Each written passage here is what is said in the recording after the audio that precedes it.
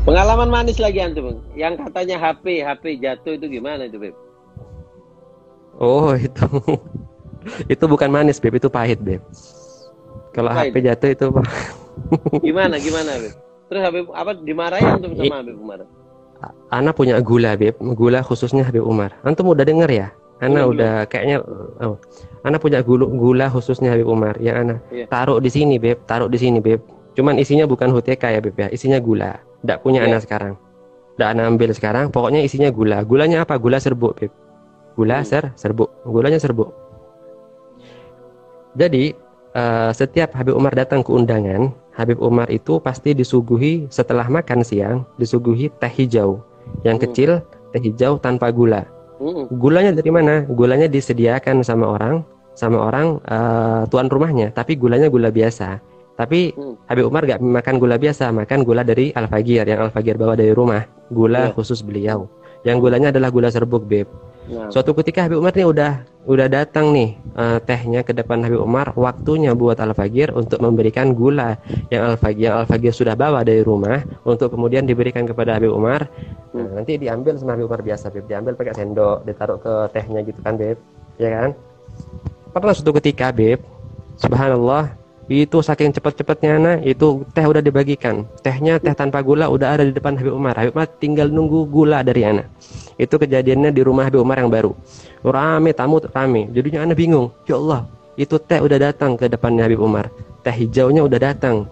Tinggal nunggu anak udah cepet-cepet anak masuk ke anak-anak ke tempat duduknya anak, anak ambil di tasnya anak perlengkapannya Habib Umar berupa gula. Subhanallah gulanya dalam keadaan miring kebalik Beb Saking cepatnya nah, set daripada miring, anak taruh di depan Habib Umar. Anak duduk lagi, set duduk lagi. Baru mikir anak, ya Allah, itu gulanya dalam keadaan terbalik. Di tas itu seharian dalam keadaan terbalik. Artinya ya apa?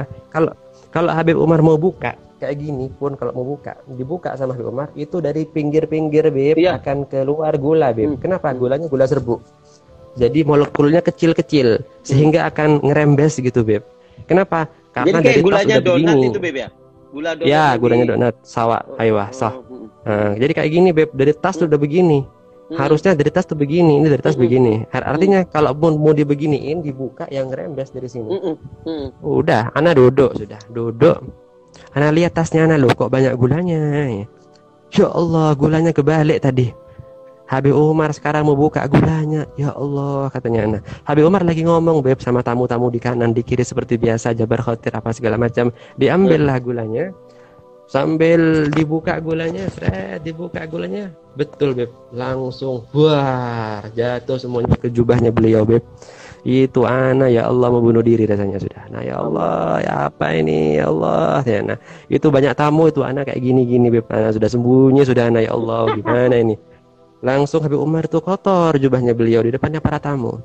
Di antara gula itu ada gula yang agak besar-besar sedikit yang enggak yang enggak jadi serbuk tuh, hmm. yang kalau kena air akan bunder-bunder tuh, Beb. Iya, iya, iya. Itu itu diambil sama Habib Umar, seret dimakan. Diambil sendok yang di jubah beliau. Yang di jubah beliau. Enggak malu Habib ya. Biasanya diambil di, di, dia, diambil diginiin, diambil diginiin Lihat bagaimana takutnya Nabi. Itu kan gara-gara Ana. Jadi semua orang itu nolehnya ke Ana. Ini murofik, ini tidak genah ini. Mungkin ya.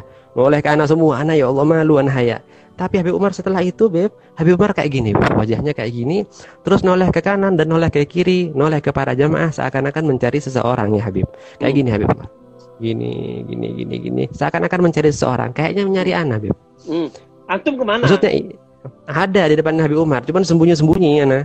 Nah, tapi oh, karena ngerasa di, di orang-orang, iya, tapi ngerasa kalau Habib Umar tuh nyari Ana, Ana merah mukanya takut. Bukan takut sama Habib Umar, bukan takut sama Eman, sama kesalahannya Ana. Habib Umar gak bakal betul, marah. Mau, betul. Ana takut eh, kesalahannya langsung Ana noleh ke Habib Umar, Habib Umar noleh ke Ana, pandangan mata beliau ke Ana dan mata pandangan mata Ana ke beliau, langsung apa yang beliau lakukan setelah khodimnya berbuat salah, beliau tersenyum ke Ana. Kayak gini beliau. Ya, ya Allah itu lu merah hati anak beb langsung langsung anak jatuh cinta betulan sama beliau. Ini anak buat salah, dia buat salah. Tapi apa? Lihat bagaimana reaksi beliau ya. Seperti itu. Ini cerita antum mengingatkan kepada Sayyidina Ali bin Abi Thalib. Sayyidina Ali bin Abi Thalib itu punya khadim ketika itu disuruh-suruh sama Sayyidina Ali ditunggu-tunggu nggak datang-datang ini tunggu-tunggu nggak datang-datang kemudian kata Sayyidina Ali Galvin kalian anu belum berangkat belum kenapa nggak berangkat Gal, anak anak tahu bahwasanya ini tidak mungkin marah sama anak. Jadi anak lambat-lambat kalian. Anak tahu akhlaknya antum seperti itu. Dan itu Rasulullah SAW juga pernah kalau nggak salah Sayyidina Abdullah bin Mas'ud atau Sayyidina Anas kalau nggak salah ketika itu masih kecil. Sayyidina Anas kalau nggak salah ketika di, di, oleh ibunya ditaruh di rumah Nabi untuk berkhidmat ketika itu disuruh ke pasar atau ke mana nggak tahunya di tengah jalan bertemu dengan seseorang anak-anak kecil main yang Rasulullah perlu hajat Kemudian dicari kok lama Rasulullah keluar nggak taunya Sayyidina Anas ini sedang bermain bersama teman-temannya sama Rasulullah dari belakang ditutup matanya. Nah, siapa ini? Siapa ini kata Sayyidina Anas. Kemudian dipegang tangannya, dipegang tangannya, kemudian kata apa namanya? kata Rasulullah ah, kamu di, masih di sini kata. Kali ya ya Rasulullah aku main tadi anu ada teman-teman. Kemudian Rasulullah pun tidak marah seperti yang antum alami. Masya Allah ya baktukum antum hidup di era akhir zaman seperti ini, antum temukan sosok yang sangat budi luhur seperti Sayyidil Habib. Masya Allah, Masya Allah.